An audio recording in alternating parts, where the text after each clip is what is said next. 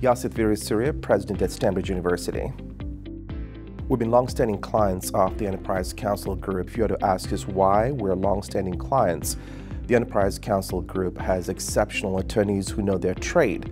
But the reason we keep coming back is because they're nice people. The founder, Dave Robinson, donates a lot of his time and resources to help those in need in the community. Benjamin Pugh is an outstanding member of the community. They're good people, but they're also exceptionally good at what they do.